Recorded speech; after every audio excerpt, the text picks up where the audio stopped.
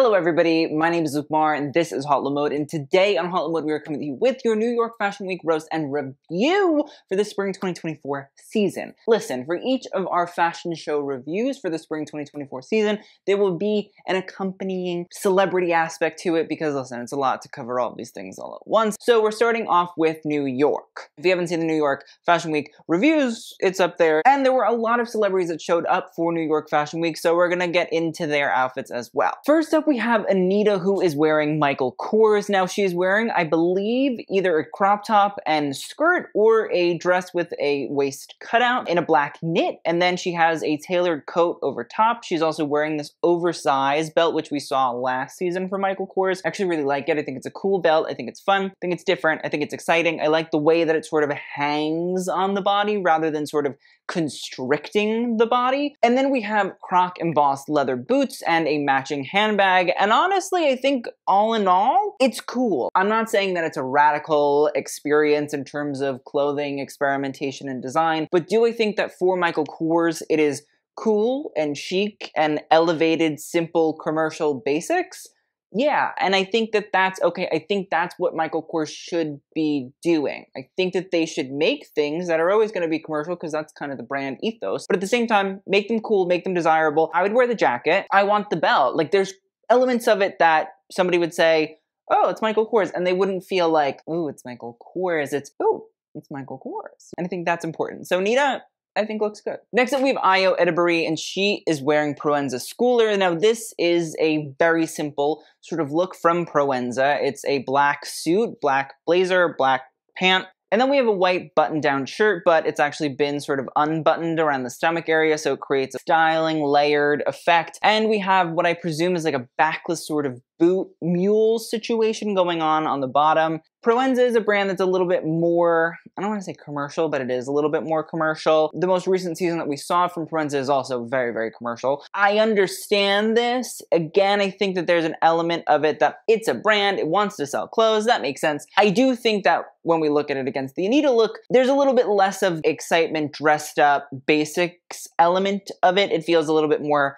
black suit and white shirt, and there's nothing that really reads Proenza from it in that regard. I don't think it's bad. I don't think it's amazing. I think it's there. And I think that they at least tried to style it, and I think that's good. But I think with Proenza, it's a little bit more exciting if you're getting the prints and the motifs that Proenza does season on season that people like to look at and people enjoy seeing. Next up, we have Blake Lively, who was attending Michael Kors and wore a full, I believe that this is a top and a pant. Uh, it's a flared pant in beige and a matching tank top style. Listen, it was so hot in New York. So anybody that you're seeing and that you're experiencing when it comes to New York Fashion Week when looking at these photos, it was ridiculously warm and every single time I was seeing the celebrities out and about or seeing people in general out and about, I was like, oh my god, I can't imagine. I showed up in shorts and a t-shirt because my job is not to be photographed. My job is to look, talk shit, and then go. And I felt bad for all of these people. I was like, oh, I am not sweating my ass off like you are. I think that this Blake Lively look is kind of smart. The tank top, I think, makes a lot of sense. It was hot as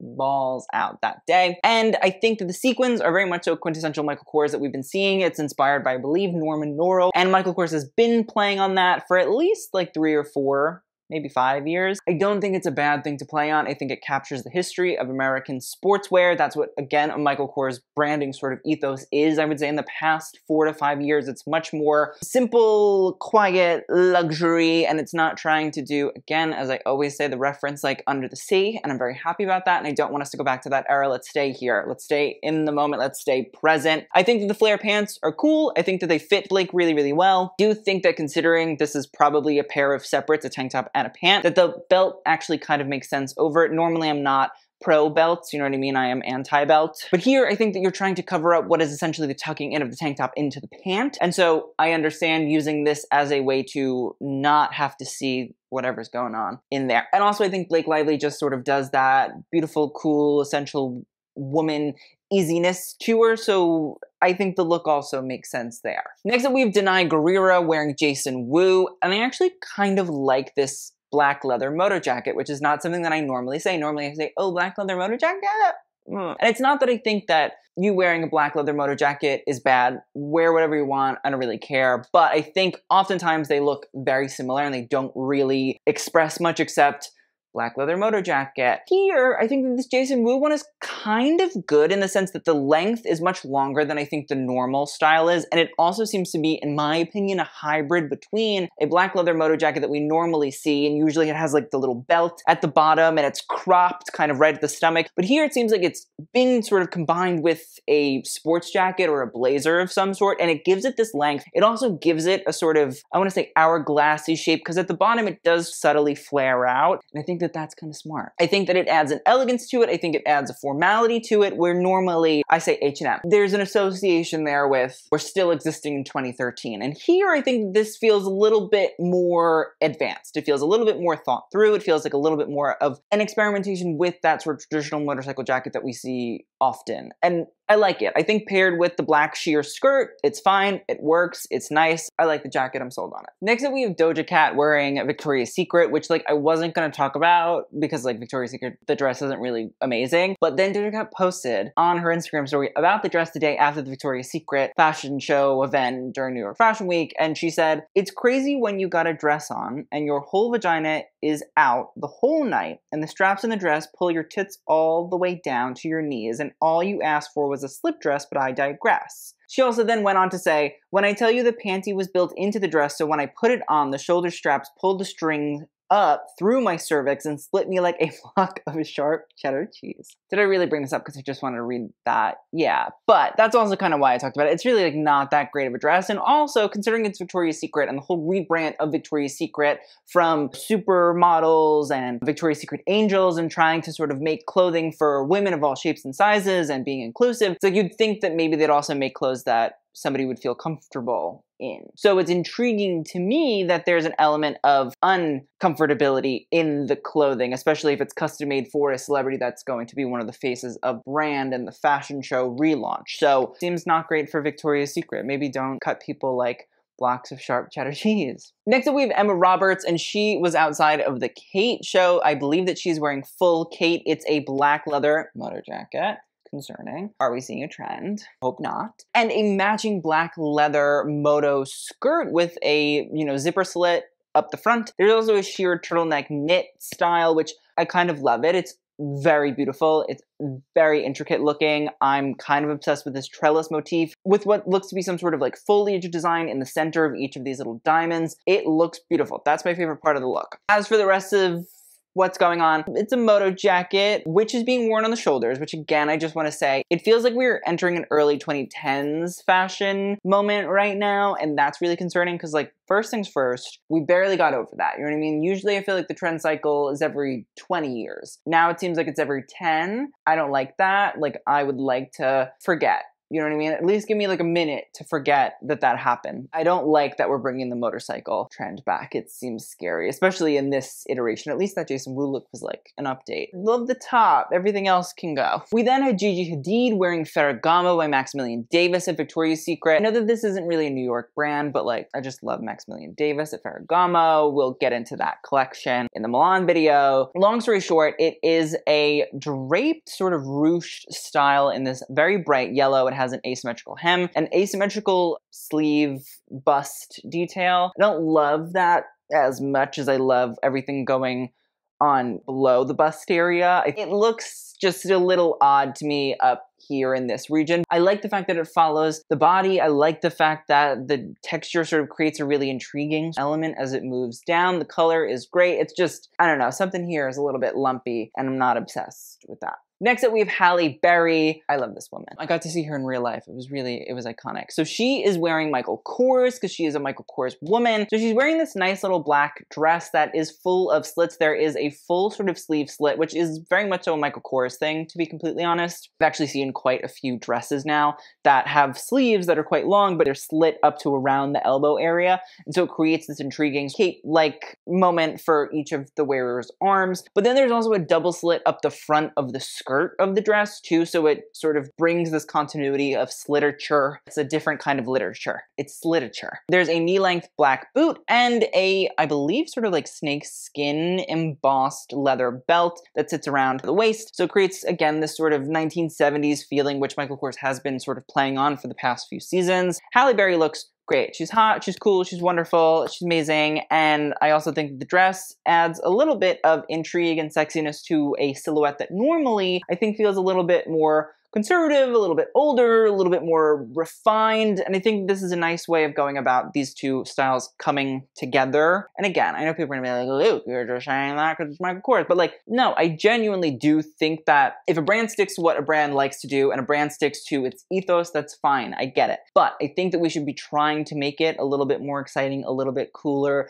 trying to pull it in different ways season on season to make it feel a little bit different. And I think Michael Kors is doing that in these looks. Next up, we have Hari Nef wearing Helmut Lang. Now, this is from Peter Do's first collection for Helmut Lang, and this actually, I believe, is a look that was either custom made for Hari or it's a not actually seen on the runway yet piece, so it was unveiled before the actual collection came out. I don't mind the bubble hem. I think that we are seeing the bubble hem come back. Listen, if you're gonna keep up with all these fashion month videos. It's happening. The bubble trend is here. I love a bubble hem. I love a bubble dress. I think they're fun. I think they're cool. And I do think that this black silk version with a little bit of texture, even a little bit of this wrinklingness that is purposeful. So purposeful wrinkling, which we saw, I think, a few seasons ago at Prada, and now it seems to be moving its way into fashion as well. I think it's cool. I think it adds to the texture. I think it adds to the element and essence of the bubble hem. I like the big long strip that also flows out of it as well. And I like the fact that it's also worn with like a loafer. Because normally I think we see bubble hems and they're usually worn with a heel. But I think a loafer adds a little bit of a coolness and a casualness to it. Listen, I think the silhouette looks cool. I think the dress looks very well made. It looks like it fits her great. Next up, we have Ice Spice, who is wearing Dion Lee. Now, Ice Spice has become a Dion Lee woman. It's very much so in her sort of fashion moment recently. I feel like we've been seeing a lot of it on her. I just wish that this look was a little bit more connected or a little bit more well-rounded. Here's the thing. It's a black bodice top and a high-waisted skirt in a beige sort of silk with a little bit of a netting that's sheer that exposes the thigh and the knee and the leg area. But I just feel like the look disconnected. I don't think that they look like they actually work together or are paired together. And I think the issue is I love a Dion Lee moment. I think it's a great brand. I think that they make really, really exciting things. I think it's one of the brands that pulls New York up in terms of coolness and chicness and suaveness but here I think that this just feels a little bit whatever we had, a sample rack and we gave to Ice Spice. And I feel like out of everybody, Ice Spice should be having a little bit more of a custom moment, a little bit more of an exciting cool, chic personage in terms of the Dion Lee brand. I think that she really could and does and has made cool moments. And this just feels a little bit last minute styling, whatever was left. And I think that's the issue. There doesn't seem to be a sort of full, well rounded, thought through essence and aura for the look. And I think if we look at a lot of the previous looks that we've talked about, like there's an idea, there's a message, and there's a feeling to it. And these feel very, again, just like two pieces thrown together. And I want better for Ice Spice and I want better for Dion Lee. And it makes me sad because like I like this duo. I like that they work together. Next up, we have Indya Moore wearing Carolina Herrera. This is a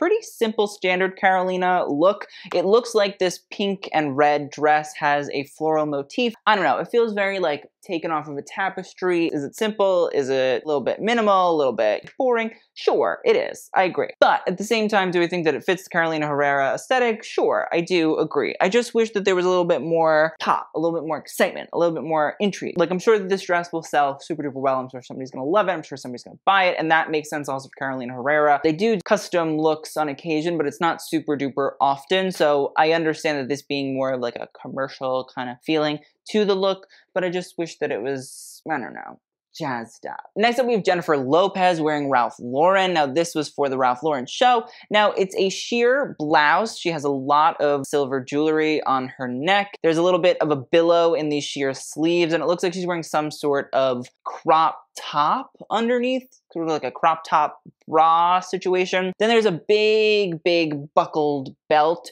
which I think that again seems like it's becoming a trend. Big buckles on belts. And this floral metallic flouncy skirt. I don't completely hate it. I think that there is an element of like a weird Western old lady tablecloth kind of feeling to it, at least in terms of the skirt. And then the blouse, I think, is cute. I think it's sheer. I think it, you know, is trying to be a little bit young and fun. But overall, pretty forgettable in the lexicon of looks. But I do think that it fits in with like a Ralph Lauren vibe, and I don't think that it differs or makes me feel like, oh, Ralph, why would you do that? I also feel like it fits in with JLo's kind of like hot and sexy look, but also a little bit more demure and toned down. There's also like a styling element to it. I mean, I think that the sheer blouse with the skirt, it's not just a dress it feels like we're trying and then the big belt buckle uh, that collection was also inspired by a lot of western influenced things very much of double rl sort of moments going on in terms of ralph as well. I don't completely hate it. I don't completely love it. I think that there's elements of it that i can appreciate and looking back at like the history of ralph lauren aesthetics it makes sense. But do I think that it's something that, you know, to the everyday person, they should be like, oh my God, it's so beautiful, it's so wonderful. No, I get that. So that's kind of where I'm coming from with it, why I'm a little bit, you know, tangled and a little bit why I'm kind of like, ah, I get it, but I don't love it. I'm on the fence. Next up, we have Julia Fox wearing Wiederhoeft, and I love this. Now, we talked a lot about Wiederhoeft in our New York Fashion Week review, so if you don't really have that context, you can go watch that video to get it. But Wiederhoeft is first and foremost a brand currently, from my understanding, that very much so heavily relies on bridal as a way to build its business. So Julia Fox wearing essentially a white cocktail dress and a very big veil with a tulle frothy hem is kind of amazing. It's kind of wonderful. And also Julia, again, I think is smart. I was at the show. You could see Julia. You couldn't miss her. I mean, she was wearing that. And it was also like kind of dark in the show venue too. So like she was really like, you know, shining bright. But what she would do, and I don't think it's really captured here, is she would kind of like move her body in like circular sort of ways. She would like turn. And as she turned, the veil would also like swing with her. So it created kind of like a fluidity, emotion, almost like a spinning white top of weddingness. And there was something fun about it. There was something exciting about it. I also can't really see what's going on underneath. It does seem like there is a sort of white corset with beautiful boning, some sort of white bows, and then a tulle sort of underskirt underneath of that. I love it. I think it's chic. I think it's elegant. And at the same time, I think Julia Fox is one for a little bit of performance art. And so I think that this plays into her aesthetic. I think it plays into a very vital element of the Wiederhoeft brand. And at the same time, look, is it probably a wedding look? Absolutely. But do I feel like it takes itself out of being a wedding look because there's a campiness and a kitschiness and a movement and a play full element to it? Yeah, I do. And that kind of makes me like it even more. I don't know. I love this. I thought it was super fun. Next up, we have Julianne Moore wearing Ralph Lauren. It's a double-breasted blazer, a crystallized dress in gold, a stocking, a boot, and a bag. And I don't love it. I don't love it at all. I wish Julianne Moore had like a custom moment. I just think that this feels a little bit too playing it safe, boring, blah. I feel like we've seen a lot of Julianne Moore looks in the past maybe year or two that are like simple and demure and easy, but at the same time, like there's a designed element to them usually. And this just doesn't feel cool. It feels, again, sort of like we're taking things off the rack and throwing them on, and it's not gonna happen for me. How do I take the claps away? I'm trying to take them away. That's how I feel. Just feels like stuff thrown on, and that makes me sad because I want a moment for Julianne Moore. I like when Ralph Lauren does like a cool, chic red carpet moment, and it just doesn't feel like that's. I will say, listen, I get it. It's hot, and you know it was sweaty, and it was awful, but at the same time, like it's a double-breasted blazer on top of a dress. So how hot and sweaty were we? Next up, Katie Holmes. Listen, again,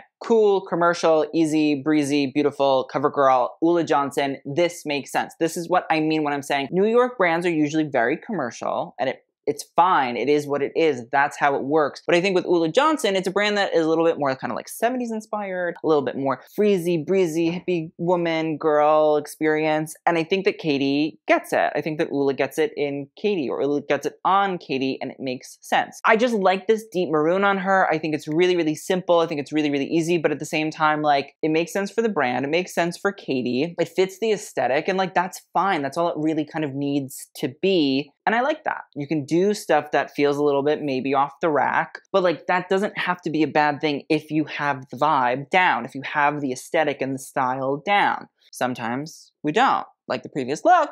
And then moments where we do, it's like that's fine. Let it let it breathe. Let her go. Let somebody wear real clothes. It's fine. It's cool. It doesn't have to be a showpiece. Next up, we have Lil Nas X, who wore a look by Coach. It is a suede jacket and matching maxi skirt in white, and you can actually see if we zoom in the different panels of the suede. There's also a black turtleneck underneath and a little bit of a waist chain sort of belt. Would I like it as much? Probably not, but I think that with Lil Nas X, there's an element of intrigue, interest. There's that idea of like blurring the gender line and things like that. But also, I think it's a cute look. I think it fits in with the Coach aesthetic, which is leather. A lot of what we saw on the runway was suede, so it makes sense that we're seeing it here as well. Again, the turtleneck may be a little bit too hot and sweaty for me during the September in New York. I do like the length of the skirt. I think it's cool. I think it's fun. I think it has sort of a minimal 90s flair to it. I think with the sunglasses and the boots, there's just that forward cyber feeling and vibe to the look. It's not radical, it's not ridiculous, but I think it's nice. I think it works. It feels a little bit less coached by Stuart Vevers looks. It feels a little bit more chilled out and minimal, and so I don't mind it. We then had Lucy Hale in Carolina Herrera. It is a short and jacket set, and she's wearing it with no shirt on underneath. It's made up of a pink, green, blue, orange plaid tweed, or at least what looks like a tweed. She's wearing a pink little Carolina Herrera bag and a pink shoe. Meh. I do think that for the weather makes sense. I get it. The shorts, the no shirt underneath, cool, fine, totally. Something about the tweed here and the plaid, it just feels a little bit Claire's Boutique, mm, which maybe is just like the Lucy Hale sort of brand, because I think for the most part she's known to a younger audience. And so maybe that's what Carolina and her stylist are going for when it comes to styling her in this manner. But I just don't think it reads as interesting, exciting, chic, elegant. It kind of reads a little bit out of date to me. We then had Pamela Anderson at Proenza Schouler, and I believe that she is wearing a dress. It's a knit dress with a polo sort of top and then a pleated skirt on the bottom. So they kind of combine together to create, honestly, a rather simple, again, very minimal Proenza schoolery sort of fit. But I don't think that it's bad. I think that the polo top is chic, the knit to each their own, and there's a sparkle element to this gray. And then the pleated skirt, again, I don't think it's bad. It just doesn't really excite me, but I think that's also just New York, to be honest, for the most part. It's just kind of there. Again, not bad, but is it really worth talking about? No. Next up, we have Quinta Brunson wearing Jason Wu. Now, this is a cocktail dress in white, I assume with a black embroidery that's underneath the mesh, a little waist corset. And like, here's my issue. Black mesh over the white dress with the black embroidery, fine, totally get it. I just don't really understand why there is this oversized black band that wraps around her waist. I just don't think that it's necessary. And if it is necessary in order to sort of create an hourglass shape, put it underneath the dress. Like the point of the mesh is that you get to see the beauty of the embroidery, but like how can you see the beauty of the embroidery fully if there is a gigantic polyester looking band over her waist? Like it detracts from what you're supposed to be looking at. So that's my big issue with this. I do think that the silhouette is great on Quinta. A lot of the time, I'm usually kind of upset about what Quinta wears because I think that aren't taking into account the fact that she is sort of shorter. But here, I think that this is a great example of proportions working for the person wearing it. I'm happy with proportions of the look, but I'm not necessarily happy with the composition. I know that she is sweeting her ass off in this Dion Lee jacket, but if you're gonna do fashion, and she 100% is the one that would have chosen to wear this look, no stylist is forcing clothing on a celebrity's body. I think this is cool. I love the full styling of the jacket right up onto her nose. I love the fact that we also get a deconstructed shearling jacket by Dion Lee. I love the deconstructed elements of Dion Lee's work. So when you get these little zippers that can deconstruct themselves and create a whole different aspect and styling to the piece, I'm happy with it. I also think that the shorts honestly make sense. I think it fits Saweetie's brand, but I also think that it is somewhat climate conscious in that regard, although the jacket obviously is not. The black boots, I don't know. I wish that we had done something in like a lighter sort of gray or beige. I don't know that the black really complements what's going on above it. The shorts and the jacket, I love. I think it's cool. I think it's fun. I think it fits the brand. And at the same time, it's somewhat, but not really at all, understanding of the weather at hand. And we have another Saweetie look because she wore this LaQuan Smith dress. Listen, it is a full sequin dress with a low scoop lunging neckline and then a full circular cutout at the stomach. Now, listen, I think the red on her is striking. It's stunning. It's beautiful. She looks great. I love the cutout detail. I think it's very much a LaQuan Smith, and I also think it very much fits with Saweetie's brand.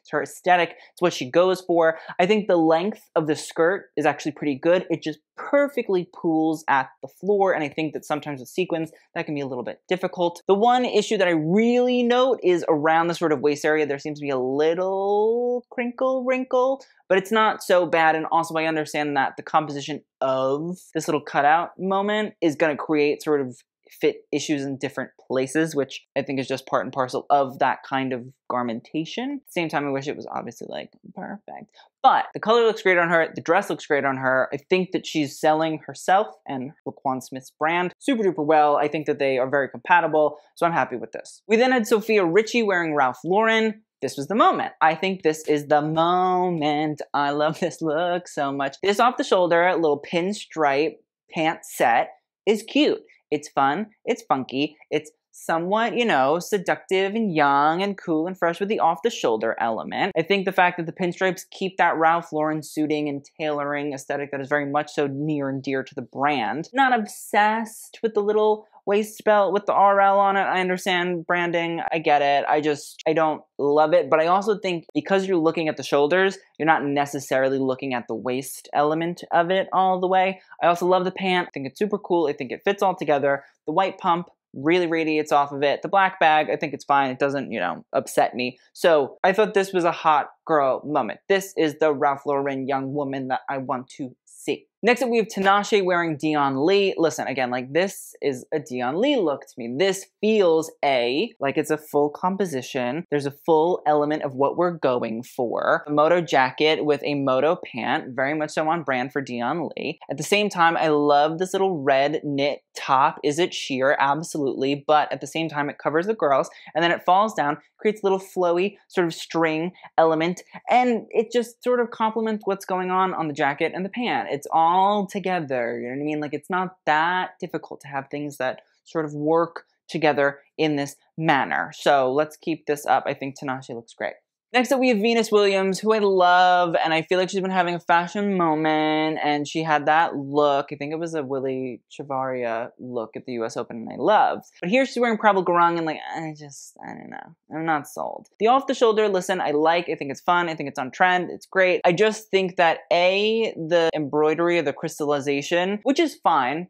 People want to be into that. That's cool or whatever. It's just the garment. That black band that sits around the waist, I think is trying to like bring you in and make you sort of look at the waist. But at the same time, eh, there's nothing about this look that really like does anything to the waist. So you're drawing your eye to the waist, but there's nothing about the waist besides the fact that it's a waist that you're like, oh wow. You know what I mean? So that's a big issue for me in that regard. I also think the length of the pant is really awkward. It's like semi capri length and it just looks weird, I think, with the shoe. Not sold on it. I don't think this works. I don't think it works. I want it to work because I love Venus, but I don't think it works. And finally, we have Zazie Beetz. I love this. This is Carolina Herrera. I think it's so cute. I think it's so fun. I think it's the perfect style of dress for this weather that we were enduring. The green with the white polka dot is fun and it's fresh and it's cute and it's pop. And the fact that you have the matching bag and the matching shoes is great. But on top of it, that hat. That hat was big. That hat was gigantic. It was fun. It was funky. It's something that you looked at and you were like, she looks like a beautiful mushroom. I would love to eat that beautiful mushroom. It just was nice and enjoyable and campy and kitschy and fun and happy and go lucky and all of the above. And I loved it. It was great. It was wonderful. It looks nice here, but it was even better in person. So that is the end of this New York Fashion Week celebrity fashion roast and review. Let's talk about a best and worst. Best, I'm gonna give Anitta in the Michael Kors, Saweetie and LaQuan Smith, and I think Zazie Beetz. Oh, and Sofia Richie and Ralph Lauren. I like those. Those were fun. Worst, Venus Williams, Prabal Gurung, Julianne Moore and Ralph Lauren, Ice Spice and Dion Lee. So please let me know what you guys thought of all of these New York Fashion Week looks. And if there are any looks you want me to talk about from London Fashion Week, let me know because I will get into it. So thank you guys. I'll see you in the next one. And TTYL.